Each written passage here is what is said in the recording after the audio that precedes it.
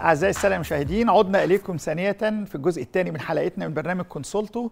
وطبعا ناس كتير قوي قوي بتتساءل دايما عن الأورام وعن أسبابها ومشاكلها وإيه طرق التشخيص وطرق العلاج والاكتشاف المبكر بتاعها.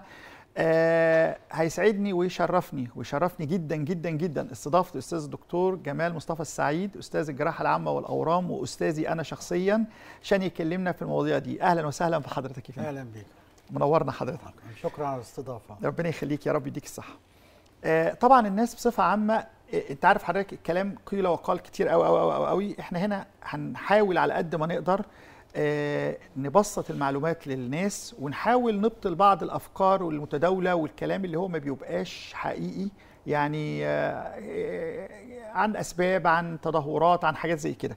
فهنسأل حضرتك شوية أسئلة بسيطة جدا عن الكلام الشائع وحضرتك تقول لنا صحته من عدمه. اولا إيه هو الورم الخبيث؟ يعني يعني إيه ورم خبيث؟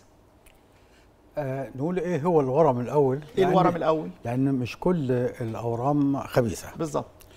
وعاوز في الأول أفرق ما بين آه لبس شائع ما بين الورم والتورم. بالظبط. لأن ممكن بيجي عيان مريض يقول أنا عندي ورم في رجليا ويطلع عنده شوية رشح مائي أو نتيجة مثلا هبوط في القلب أو مرض في الكلى. فده مش اسمه ورم رغم إن الأصل اللاتيني بتاع كلمة ورم بي- بيشمل هذا النوع من التورمات. آه ال- الورم عبارة عن خلايا متكاثرة غير خاضعة لقانون الجسم وبتكبر بدون قواعد. والخلايا السرطانية خلايا عادية خالص إنما بتنشأ من خلية واحدة. يعني أي ورم إن شاء الله يكون وزنه 10 كيلو هو منشأه بيكون خلية واحدة. والخلية الواحدة دي بتكتسب آه، صفات هذه الصفات بتجعلها خارجة عن القانون. الصفات دي إن هي ما بتحترمش اللي جنبها. نمرة اتنين عندها القابلية للانتشار إنها تمشي. نمرة ثلاثة إنها تنقسم ولا تتوقف. وبعض الفلاسفة بيقولوا إن هي خلية سرطانية هي محاولة للحياة إلى الأزل. يعني الخلية السرطانية مش عاوزة تتوقف عن النمو زي ما خلقنا ربنا إنما عاوزة تنقسم إلى أبد الآبدين. ودي طبعا نظرة فلسفية. إنما هي لما تنقسم بلا قواعد وبلا روابط وبلا القوانين اللي عاملها ربنا هي بقى بتكبر على حساب الأعضاء اللي جنبها وبتكبر وبتنتشر. زي ما يكون في مشكلة في شارع والمشكلة بتكبر فبيخش المشكلة دي في الشوارع الجانبية وبعدين تصل إلى الميادين الكبرى. نفس الحكاية لما يظهر ورم في مكان ما وليكن في الرئة مثلا بيكبر وبيتضخم يبوظ الرئة ثم ينتشر عن طريق أوعية اسمها الأوعية الليمفاوية ثم ينتشر عن طريق الأوعية الدموية إلى أماكن بعيدة بقى. هي في الرئة ممكن يكون ينتشر في العظم أو في المخ أو في الكبد. فهو خرج عن نطاق السيطرة اللي ربنا عاملها في آه، جسمنا. ولذلك فهو مرض قاتل. طيب الأورام بصفة عامة أو الأورام السرطانية أنا عارف إن هي اسمها ورم خبيث لأن هو ملوش أعراض ثابتة ملوش أعراض محددة. بل بالعكس هو إحنا دايما بنسميه سايلنت ملوش يعني دايما بيبقى ساكن تماما لغاية ما يكبر وينتشر. لو حبينا نقول إيه. يعني إيه الأعراض التحذيرية إذا كانت حاجات على المدى البعيد أو حاجات عاجلة؟ يعني حاجات حادة أو حاجات كرونيك لما بتحصل للمريض نقول مثلا لو المريض ده جاله كذا في, في أول يومين ثلاثة لازم يروح لدكتور أو المريض ده لو استمر معاه الأعراض الفلانية دي شهر شهرين لازم يروح لدكتور. إيه الاعراض اللي ممكن نقولها من غير ما نخوف العيانين لا من غير ما نخوف ولا حاجة. آه. آه. هو هو بس أنا عاوز أفصل ما بين آه، تصور الناس أو الشخص العادي إنه الورم ال- الخبيث أو الورم السرطاني آه، مؤلم في كل الحالات. لا. إذا ممكن يجي من غير ألم. آه. وبعض الناس بتقول ده هو اللي بيجي له ورم سرطاني بتبقى مشكلته الرئيسية الألم. لا. مشكلته الرئيسية حاجات تانية إنما الألم ده ممكن ما يجيش خالص وممكن يجي في مراحل متأخرة من المرض وله إجراءات خلاف بقى علاج الورم نفسه له إجراءات علشان تخفيف الألم. فانا عاوز الأول نفصل ما بين الأورام الخبيثة والألم بتاعتها. كويس. دي حاجة. الحاجة الثانية إنه في عندنا أعراض عادية.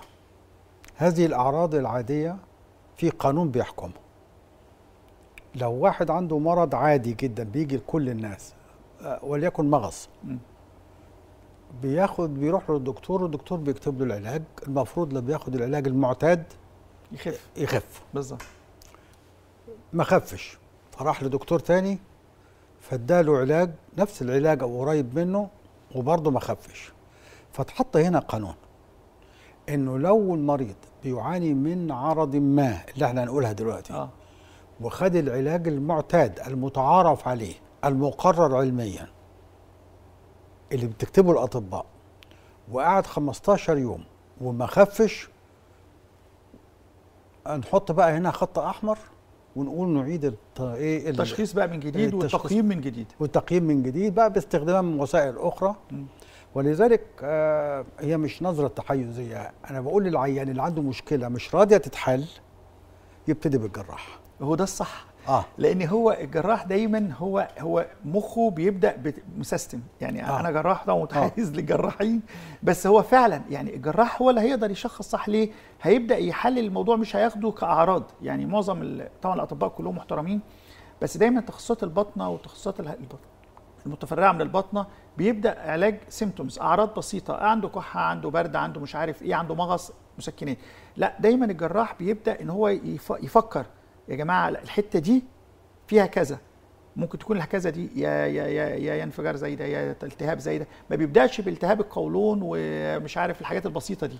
صحيح. فطبعا طب صحيح. إيه الأعراض بقى حضرتك اللي لا هو ال- ال- الجراح بيشوف العيان وبعدين يبقى مسار الأحداث نازل. إنما يعني ما فيش يعني لما الجراح يشوف العيان ويقول انت ما عندكش اورام يبقى الوقت هنا بقى أي حد. متاح. متاح. إنما في ربط مهم جدا ما بين الأورام الخبيثة وعامل الزمن. بمعنى إنه ودي يعني إحنا دلوقتي سنة 2021 الأورام السرطانية التي كانت مستعصية من 20 أو 30 سنة أصبحت كلها لها علاج. الحمد لله الحمد لله. إيه الشرط بقى؟ إنه العيان يروح للدكتور في مرحلة مبكرة. عشان كده بقول يروح في الجراح الأول لأن الجراح هيستبعد الحاجات دي. بالظبط. وبعد كده يقدر الوقت بقى عامل الوقت ما يبقاش مهم بالنسبة لنا. إنما لو راح لدكتور مثلا ممارس عام أو دكتور بيعالج بطرق تقليدية ممكن يضيع على العيان أو على المريض فرصة. فرصة, العلاج نفسها. فال إيه بقى الاعراض اللي ممكن تلفت نظري؟ تحذيرية أو انذارية انها تتقال آه. ما إحنا بقى هنطبق على القانون انه 15 يوم. 15 يوم. نمرة واحد خروج الدم. خروج الدم من أي منفذ من منافذ الجسم. يعني القيء الدموي ال- الدم الموجود في البراز. الدم من المناخير آه، الدم من الجروح اللي مش راضي يتوقف. لأن المفروض الواحد لما بيتعور الجرح بتاعه في خلال يومين ثلاثة أربعة بيقفل. بالظبط. إنما لما يكون في جرح آه، النزيف ما وقفش في سنة في ثلاث ساعات أو أربع ساعات ده إحنا لازم نبص على حاجة قد تكون مؤثرة على عملية التجلط آه، في الدم. برضو خروج الدم من حلمة الثدي. في بعض الحالات آه، أورام الثدي بتيجي بهذه الطريقة. يكون في دم نازل من حلمة الثدي. دي حاجة. الحاجة التانية آه، صفار العين. إحنا بنتكلم هنا من حيث الأهمية. آه.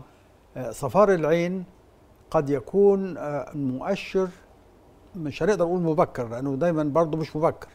صفار العين عين قد يكون مؤشر إلى بعض ال- الأورام الخبيثة اللي موجودة في داخل البطن. كتير. زي آه، أورام الغدد الليمفاوية وأورام آه، رأس البنكرياس والأورام اللي بتيجي في الكبد سواء نتيجة إن هو الكبد نفسه مريض بالورم أولي أو ثانوي. أو آه. ثانوي مرسل من أي منطقة تانية. الحاجة الثالثة هو هنضيف لموضوع الدم ده الدم اللي بينزل في البول. طبعا. تخصص. طبعا الدم اللي بينزل في البول وده كان شائع جدا في الريف عندنا هناك. عشان بالهرسيا عشان البلهارسيا بس طبعا في فرق كبير قوي بين الدم اللي بينزل نتيجة البلهارسيا والدم اللي بينزل آه، نتيجة الأورام. أحد الأعراض المهمة برضه صعوبة البلع.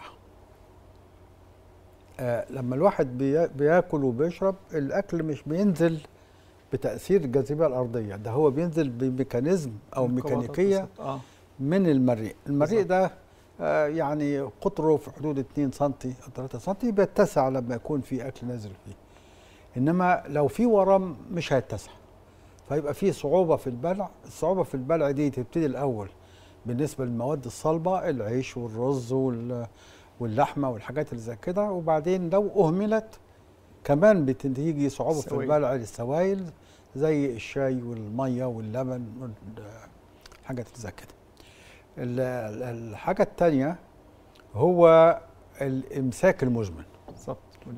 خطيرة. المزمن وإحنا يعني عشان الإمساك ده يعني عرض أعراض الشائعة في المجتمع أنا مش عاوز حد يتخض يعني إنما الإمساك المزمن المصحوب مثلا بانتفاخ في البطن المصحوب يعني مغص متكرر ويكون حاجة جدت يعني حاجة كان إنسان ليه طبيعة عادي. معينة في البراز آه. وبعدين بقى له مثلا شهرين ثلاثة لأ اتغيرت الطبيعة دي أو أو ست أشهر الطبيعة اتغيرت وبقى في إمساك مزمن يعني ما هو. برضك عشان مش كل واحد يقول لك أنا ما في ناس بتبقى عايشة طول عمرها بتعمل كل يومين ثلاثة براز لأ لازم أعراض جديدة زي ما آه. حضرتك قلت زي ما حضرتك قلت آه الصداع بالظبط الصداع ده من أحد العلامات المبكرة جدا آه، الصداع أساسي في أورام المخ إنما ممكن الصداع يحصل وما يبقاش له علاج في بعض الأورام التانية.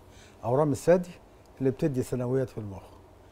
آه، في عندنا أعراض اسمها الأعراض ال- المصاحبة للأورام مش من الأورام. زي ال- الإجهاد وزي الأنيميا المزمنة وزي آه، ال- الاكتئاب النفسي وزي آه، عدم الانتباه أو ديسورينتيشن يعني انت لما يجي واحد و- وتساله النهارده إيه وما يعرفش لازم تحط عليه علامة حمراء. أو تلاقيه الناس قاعدة جنبه وهو مش عارف بعضهم وعارف بعضهم أو مش عارف تاريخ اليوم إيه. دي اسمها اعراض ما جنب الأورام. ودي حاجات مهمة جدا.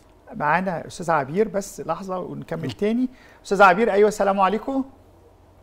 وعليكم السلام. اتفضلي حضرتك سؤالك إيه؟ أنا كنت عايزة أستفسر بس من الدكتور لما يكون في تاريخ مرضي للحال يعني والدتي كان عندها كانسر على الث- على الثدي كويس. مم. آه فهو عدى على ال... هي ربنا يرحمها يعني. هو. انتشر في الكبد وفي الرئه وبتاع وربنا يرحمها يعني. يرحمها يا رب. ان شاء فأنا بالنسبة لي أنا آه، بالنسبة لي أنا عايزة أسأل إمتى أعمل فحص وكده؟ لأن عرفنا من المرافقات الدكاترة هناك إن إحنا لازم نعمل فحص في تاريخ المرض بخمس سنين. أنت عندك كام سنة؟ أنا عندي 43 حاضر. حضرتك تابعينا من التلفزيون. أستاذ دكتور جمال بيه مصطفى هيرد عليك تحت أمر آه على فكرة ده سؤال كويس جدا. آه. وواضح إن المشكلة كانت سرطان الثدي. بالظبط. عند والدتها. والدتها. وانتشر في الكبد. آه. وبعدين توفت. فهي طبعا خايفة على نفسها إنها يكون لا قدر الله في أي حاجة. سرطان الثدي نوعين مش نوع واحد. النوع الأولاني اللي هو بيجي من غير تاريخ مرضي في العائلة. مرة واحدة كده تبص تلاقي فيه ورم موجود في الثدي إنما ما فيش تاريخ مرضي لا أمها ولا أختها ولا أي حاجة خالص. النوع الثاني بقى اللي هو ده بيصيب قنوات اللبن. في النوع الثاني بقى اللي هو بيصيب غدد اللبن. يعني غدة اللبن بتطلع اللبن وتصبه في قناة علشان يطلع على الحلبة بره. ال- النوع اللي هو أكثر شيوعا اللي بيجي في القناة دي. آه.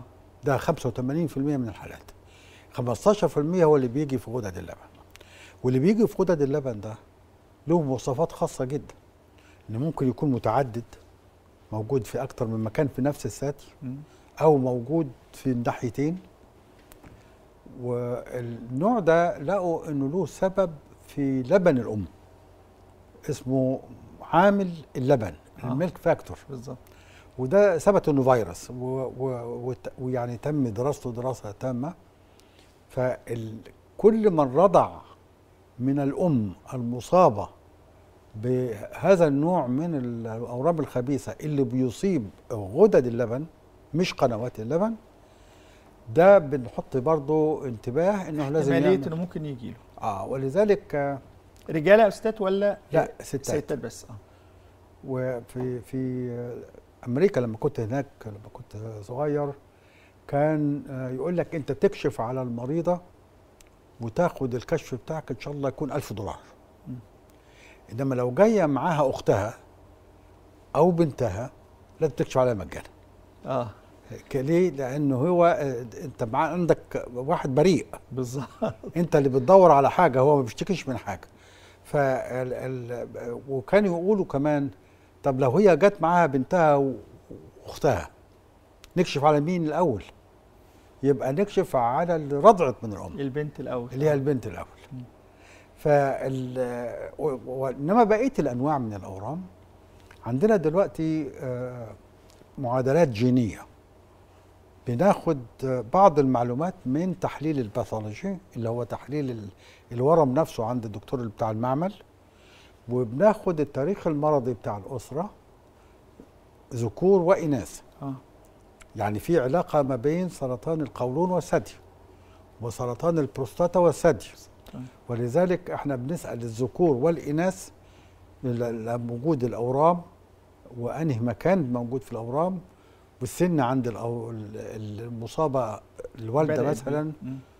آه، أصيبت وهي كان عندها كم سنة والمعلومات اللي موجوده في التحليل وإحنا عندنا معادلة كده بيضاف إليها بعض المعلومات الجينية ونقدر نقول للعيان أنت محتمل يجي لك أو مش محتمل يجي لك وده حصل يمكن حضرتك آه، تسمع عن واحدة ممثلة مشهورة في هوليوود. بالظبط. وعملوا لها المعادلة دي وطلع احتمال إن يجي لها شالت الثدي 100% ده آه. شالت الناحيتين. ناحيتين وعملت آه مامبلاستي آه بالظبط. يعني هي شالت الناحيتين وما مفهومش حاجة. بالظبط. آه. إنما المعادلة اللي اتعملت قالت إن هيجي لها أو احتمال الإصابة فيهم آه، آه، عالية جدا. عالية جدا.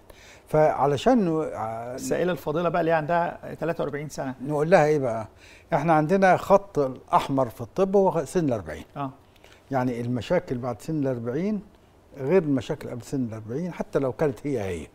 لازم ناخد كل حاجة فوق سن ال 40 بنوع حصل. من العناية والتدقيق علشان آه، استبعاد بعض ال- الحاجات. آه، دي حاجة الحاجة الثانية إنه تحليل الباثولوجيا بتاع الأم فيه المعلومات اللي تقول إذا كان ده من النوع الوراثي ولا لأ على حسب بقى هو من ال- الغدد اللبنية ولا أو من القنوات. بالظبط من آه. القنوات اللبنية آه.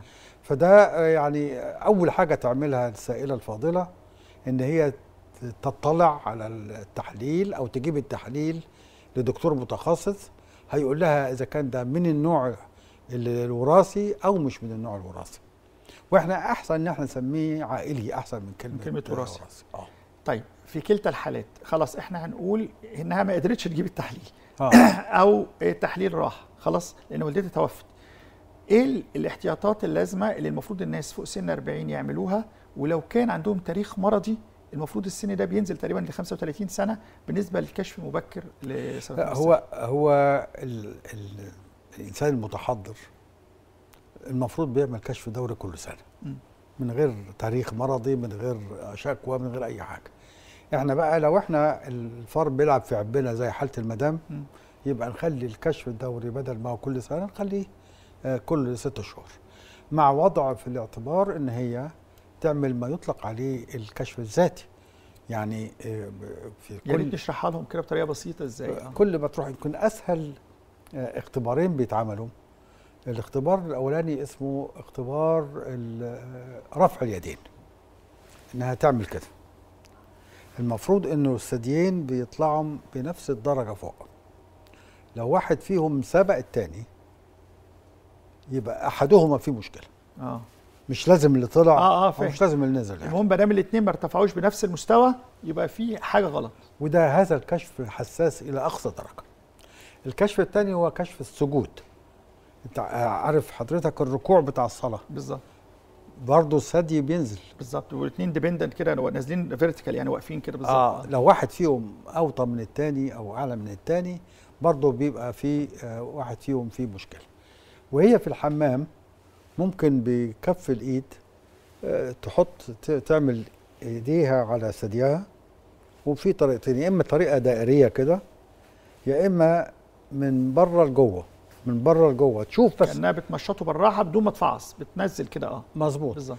ده اسمه الفحص الذاتي وده برضه دقيق. يعني لو الإنسانة مشغولة على نفسها ده يكفي قوي إن هي تخليها تحس أي حاجة ممكن تستدعي عشان ما. تعملوش كتير المفروض يتعمل كل قد إيه؟ الفحص الذاتي.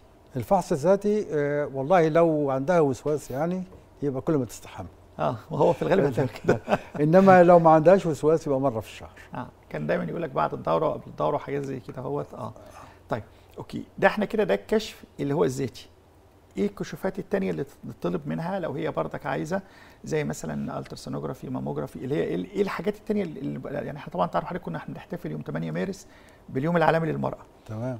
فطبعا الدولة بردك بقى لها ثلاث سنين أو أربع سنين عاملة الحملة القومية آه، للكشف المبكر عن سرطان الثدي. وفي عربيات منتشرة بأجهزة الماموجرافي اللي هي الأشعة على الثدي وأجهزة الموجات الصوتية على الثدي. دي موجودة في كل الأماكن دلوقتي مظبوط والقرى فنقول للناس إيه يعني إيه الفحوصات دي بتتعمل إزاي ولازمتها إيه؟ بص حضرتك الست اللي مشغولة على ثديها ثديها. لازم نمرة واحد تلاحظ حجمه نمرة اتنين تلاحظ الحلبه واتجاهها. الحلبه المفروض إن هي تقريبا في حدود نص سنتي بارزه بره واخدة تقريبا زاوية قايمة على الثدي لو الحلبه دي لانها اتعوجت على ناحيه أو دخلت لجوه أو بتطلع إفرازات فيها دم حتى لو ما فيش أي كلاكيع محسوسة يبقى دي لازم تروح للدكتور كويس إنما اللي عاوزة تعمل كشف دوري كل العيانين دلوقتي عارفين اشعه الماموجرام كلهم بلا استثناء بالظبط حتى اللي آه. موجودين حتى اللي موجودين في الأرياف. آه، نسبة الوعي عندهم زاد زادت وهم بيقولوا حتى الكلمة آه، بالإنجليزي الماموجرام ما بيقولوش أشعة الثدي عشان كده قلتها لأن عارف الناس كلها عارفاها دلوقتي بالظبط آه. آه، أشعة الثدي دي يعني بتبين الأورام وتفرق ما بين إذا كان الورم حميد ولا الورم خبيث. وفي بعض الأحيان بيبقى دكتور الأشعة نفسه معاه إبرة وإذا شاف حاجة في الأشعة بيدخل الإبرة جوه الورم وياخد منه آه، بعض الخلايا ويفحصها والنتيجة بتطلع في ساعتها على طول. في حاجة ثالثه اللي هي قياس دلالات الأورام. ودلالات الأورام بتاعت الثدي معروفة. هي CA 15 3 لا هتروح للدكتور تقول له اعمل لي CA 15 3 لو زاد عن 32 ونص يبقى لازم تروح لدكتور متخصص علشان يعيد فحص الثدي من أول وجديد. أنا بس بحذر هنا مش كل أورام الثدي بتيجي على هيئة أورام. ممكن تبقى مش أورام جاست حضرتك قلت كده مثلا في شوية إفرازات دموية خارجة من الحلمة. مظبوط. آه اختلاف شكل الحلمة إن هي لو اتشدت لورا أو طلعت كل الأعراض اللي حضرتك قلتها دي ودي فعلا إحنا كنا دايما الناس للأسف ما تعرفهاش الناس دايما فاكرة إن كلمة ورم ثدي يعني هتحط إيدها تلاقي كلكوعه. ودي اللي بتتقال كده. أنا ما حسيتش كلاكيع أنا كويسه في أحد أنواع أورام الثدي اسمه ورم باجت. Paget disease. آه. ده بيقول الحلمة بتتاكل زي ما يكون العتة واكلاها. آه. يعني كل يوم تتاكل كل يوم تتاكل وبعدين يمكن ما تاخدش بالها وتيجي بنتها مثلا ولا حاجة تقول لها يا ماما مثلا فين الحلمة بتاعتك؟ ليه؟ لأن هي الموضوع بالتدريج فهي يمكن ما تحسوش أو ما ما ما تلاحظوش. تلاحظوش. إنما حد تاني بيشوف فبيقول بيستغرب إن الناحية دي في حلبة والناحية التانية ما فيش. طيب هنسأل بقى شوية أسئلة كده. أنا عارف حضرتك يعني حضرتك كنت دايما تقولها لنا وتشرحها لنا يعني. وعايزين حضرتك نوضحها للناس. هل صحتها دي صح ولا لأ؟ إن الورم السرطاني دايما بيجي في السن الكبيرة فقط. صحته من عدمه. لأ في أورام بتيجي في الأطفال. بالظبط. وفي أورام بتيجي في الأجنة أو حديث الولادة. وفي أنواع من الأورام كانت بتيجي في السن الكبير زمان أصبحت بتيجي في السن الصغير. دلوقتي. فالصورة متغيرة والاعتقاد ده اعتقاد خاطئ. خاطئ. طيب إيه لو قلنا كلمة إن في أكلات الناس لو كلتها تقي نفسها من الأورام ودي طبعا منتشرة قوي على الفيسبوك اليومين دول مواقع التواصل الاجتماعي إن كل كذا أو خد لك فصين كذا الصبح أو دي تقيك تمام من الأورام. دي صحتها هو آه، هنقول إن هو يعني في قدر من الصحة. مم. يعني في علاقة وثيقة ما بين الأكل والأورام. آه، يعني ل- لو أكل فيه مبيدات حشرية أو معادن ثقيلة أو آه، مواد كيماوية معينة ممكن يسبب أورام. إنما الأكل كنوع من الوقاية من الأورام أنا أؤيد هذا الاتجاه لأن كل الأكلات المشتقة من النباتات والفواكه فيها مضادات أكسدة. مضادات الأكسدة دي بتمنع أو بتأخر آه، ظهور الشيخوخة. والأورام والوفاة. إيه انتشار الأورام زاد في الفترة الأخيرة. هل ده صح ولا هو ده نتيجة التشخيص ولا ليه؟ ليه؟ ليه؟ لا هو ما زادش ولا حاجة. هو بس إحنا إحنا اللي زدنا في العدد. ده نمرة واحد. نمرة اتنين العيانين بقى أكثر وعيا بيروحوا آه، للدكتور. ما كانش زمان بيعمل كده. وده في مصلحة كبيرة لأن دلوقتي حتى في أيام زمان لما كان بيجي ورم الثدي كان العلاج هو استئصال الثدي. آه، دلوقتي الجراحة دي تقريبا شبه ملغية يعني إلا في الحالات المتأخرة. إنما الحالات المبكرة ما عدناش بنشيل الثدي آه، كانت العيانة لما بتحس بورم تقول أنا ما أروح للدكتور إذا كان هيقول لي أشيل صدرك. استنى بقى كده تموت. آه فهي تكفي على الخبر مجور ولا تقولش لحد ولا لجوزها ولا أخواتها ولا أي حاجة خالص لحد ما المرض يستفحل. إنما دلوقتي هي أدام عارفة إنه الثدي مش هتشال هي بتروح. هذه الفئة ما كانتش بتروح الأول. عشان كده العدد زاد. يبقى العدد زاد نتيجة زيادة السكان والعدد زاد نتيجة زيادة الوعي والعدد زاد نتيجة إن العلاج بقى نتائجه أحسن من أيام زمان. طيب معانا أستاذ محمود نشوف سؤاله. ألو السلام عليكم. ألو. أهلا وسهلا أستاذ محمود سامعني؟ سامعك كويس. ممكن تواصل مع اتفضل. قول سؤالك. لا مش سامع الصوت. غير مكانك واتصل تاني لأني مش سامع صوتك خالص. طيب. آه، في بردك من الحاجات اللي كنا بنقول عليها اللي هو العلاج الموجه. كنت حضرتك دايما في الفترة الأخيرة اتكلمت إن في حاجات حديثة اسمه العلاج الموجه للسرطان. إيه هو؟ آه، هو لحد مثلا آه، 15 20 سنة فاتوا كان علاج الأورام يا إما الجراحة يا إما الكيماوي يا إما الإشعاع. أو الاثنين مع بعض أو الثلاثه مع بعض على حسب المرحلة والدرجة بتاعت الورم ال- كانوا بياخدوا علاج كيماوي العلاج الكيماوي بيموت الخلايا السرطانية إنما بيموت معاه الخلايا. الطبيعيه آه بالظبط بعض الخلايا الطبيعية اللي هي سريعة الانقسام بتتأثر بالمواد بالعلاج الكيماوي زيها زي الخلايا السرطانية بالظبط. عشان كده بنلاقي مع العلاج الكيماوي خلايا الدم البيضاء بتقل خلايا نخاع العظام بتقل المريض بيحصل له أنيميا المريض بيحصل له إسهال نتيجة تأثير العلاج الكيماوي على خلايا الأمعاء. فطبعا دي كانت مشكلة كبيرة جدا وبيوقع الشعر كل العيانين عارفين. فالعلاج الموجه بقى أو العلاج الجيني كلمة موجه جاية يعني موجه إلى الخلايا السرطانية فقط آه. ملوش دعوة بالخلايا العادية. ف- ولذلك لما العيان بياخده الورم هو بس اللي بتاثر إنما ما فيش أعراض الجانبية اللي موجودة مع طيب. العلاج الكيماوي. طيب محمود رجع تاني. ألو؟ أستاذ محمود. حضرتك سامعنا؟ أه سامعك كويس كده. آه اتفضل يا فندم. سؤالك إيه؟ معلش أنا كان عندي والدي عنده سرطان في ال- في الكبد. ألف ال- في ال- في الفص الأيسر. لما رحنا خدنا عينة وعملت تحاليل قالوا إن صحة الكبد ما تست... ما تقدرش إن هي تستحمل الكيماوي أو العلاج. آه. هل الكلام ده صح ولا إيه الدنيا؟ طيب حاضر. تابعنا كده ونشوف إن شاء الله تحت. ماشي. آه، بص حضرتك ممكن الورم بتاع الكبد ده يكون جاي على آه، تليف قديم. موجود عنده فيروس سي قديم وبعدين ظهر الورم اللي موجود في الكبد. في الحالة دي بيبقى ورم الكبد مصحوب بمرض في الكبد نفسه بحيث إنه ما بيستحملش الجراحة وما بيستحملش العلاج الكيماوي. ففي الظروف اللي زي كده إذا كانت الجراحة مش ممكنة وهياخد كيماوي لابد أن تكون محكومين بوظائف الكبد اللي تعمل لها تحليل قبل كده.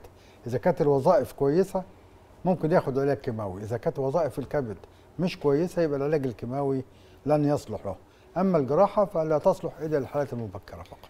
طيب آه، حضرتك بالنسبة لأورام الثدي بالمرة برامج اتكلمنا عليها هل حضرتك من المدرسة اللي تقول إن لو احتاجنا استئصال للثدي أو يعني لو كان ضروري إن هو مثلا الورم كبير واحتاجنا استئصال للثدي هل حضرتك تفضل إن إحنا نستأصل الثدي وبعدين بعديها بفترة نبدأ نعمل حاجة اسمها إعادة تجميل وبناء للثدي ولا يتعمل الاثنين دول في مرحلة واحدة مع دكتور تجميل يكون موجود أو الجراح هو اللي يعمل نفسه؟ هو زمان كان بيقول لابد أن نفصل العمليتين بين بست شهور حد أدنى وسنة ونص حد أقصى. ده كانت المدرسة آه، القديم القديمة. دلوقتي ممكن استئصال الثدي وعمل ثدي جديد سواء بتخليقه من عضلات المريض أو إن إحنا نعمل ثدي صناعي بنجيبه وبنحطه تحت الجلد بحيث يبقى مقاساته زي المقاسات الناحية الثانية فالرأيين صحيح. إنما حضرتك تفضل ايهم الانتظار. الانتظار. آه. على أساس لو هتاخد إشعاعي ولا؟ آه لا علشان لما يكون الورم ناوي يرجع بيرجع عادة في أول ست شهور. آه عشان كده. معانا أم محمد. ألو السلام عليكم. عليكم السلام ورحمة الله وبركاته. اتفضلي يا فندم وايه سؤالك. بعد إذنك أنا جوزي شايل الغدة الدرقية بالكامله كان عليها ورم حمي خبيث. آه. آه، المهم هم آه، بقاله دلوقتي شهر فعملوا له تحاليل وكده والتحاليل لسه هياخد العلاج قالوا له هتاخد كيماوي بعد أسبوعين. كويس. إيه سؤالك؟ سؤالي جسمه بيزيد بيزيد قوي. في حاجة في أكلات معينة تزود ال- آه، السعر الحرارية؟ ال- يعني ال- ال- المهم جسمه بيزيد قوي مش عارفة زيادته دي ليه. حاضر عينيا. تابعينا حضرتك دلوقتي من الشاشة والدكتور جمال بيقول هي وزنه بيزيد يعني؟ وزنه بيزيد جامد بعد ما شال الغدة الدرقية بالكامل وفيها آه ورم سرطاني هو طبعا ده متوقع. ما هي بقى اشرحها لها ليه؟ عشان هي مش فاهمة. متوقع لأن هي الغدة الدرقية وظيفتها إنها بتنزل إفرازات علشان تحرق الأكل اللي إحنا بناكله. لما بنشيل الغدة الدرقية طبعا الأكل ما بيتحرقش. فبعد العملية لازم بندي حاجة اسمها هرمون تعويضي. فأغلب الظن إن جوز حضرتك ما خدش الهرمون التعويضي. الهرمون التعويضي ده اسمه إلتروكسين تركيزه 100 وياخد حبايتين الصبح هيرجع وزنه كما كان قبل العملية. فيعني يعني معلش بعد إذن حضرتك زي ما الدكتور مصطفى بيه قال الدكتور جمال بيه قال لحضرتك إن إحنا لازم يتابع مع الدكتور اللي عمل العملية مش خلاص هو عامل عملية ورايح على الكيماوي يقوم يبعد على أساس إن هم هيقيسوا له نسبة هرمون الهرمون الغدة الدرقية في الدم ولازم إجباري ياخد ال- الاقراص التعويضية. دي مهمة جدا وهتلاقي ساعتها وزنه بقى رجع. طيب ال- الحاجات اللي هي المحليات الصناعية اللي فيها تحتوي على أسبرتام والكلام ده كانوا برضك طلعت موضة كده قالوا إن الكلام ده كله بيؤدي إلى سرطانات. هل الكلام ده صح ولا غلط؟ آه، لا هو احصائيا آه، طبعا هو ظنا آه إنما احصائيا ثبت إنه آه، مش سليم. لدرجة إن دلوقتي لو حضرتك مشيت في أحد شوارع لوس أنجلوس أو نيويورك بتلاقي ال- الاسبرتام ده محطوط في زكايب. بالظبط آه. زكايب بت... الناس بتاخده مجانا. بالظبط آه. يعني محطوط في قدام المحلات بحيث الواحد معدي ياخده وهو ماشي. طبعا ده أمريكا. يعني لو في شك واحد في المليون ما كانوش عملوا ما كانوش عملوا كده. آه طبعا يعني إجباري لازم قبل ما يعني ننهي لقائنا مع حضرتك. يعني أنا طبعا حضرت مرة أو مرتين آه لقاء ال- الثقافي بتاع ال- الجراح تمام؟ حضرتك لقاءات جميلة جدا جدا جدا آه في صالون الجراح الثقافي وبتناقش فيها كل الموضوعات السياسية والاجتماعية والصحية والأدبية. وأعتقد دلوقتي إحنا وصلنا تقريبا للقاء 64 مظبوط. بالظبط كده. فربنا يا رب يا رب يكرمك ويزيدك يا رب من علمه وحقيقي بجد يعني لقاءات جميلة جدا جدا. يا ريت حضرتك نستأذن حضرتك لو ممكن تبقى تسجلها وتنزلها على وسائل التواصل الاجتماعي لأني أنا لما حضرت لقيت الموضوع رائع وأكثر من رائع. طبعا ربنا يديك الصحة ويمتعك بيها وحقيقي زي ما بتبسط المعلومات للناس وزي ما قد كده أنت ساعدتني بوجود حضرتك معانا. أنا بشكر حضرتك جدا جدا جدا العفو. جدا وربنا يديك الصحة ويبارك فيك ويحفظك لينا دايما يا رب. ألف شكر يا فندم.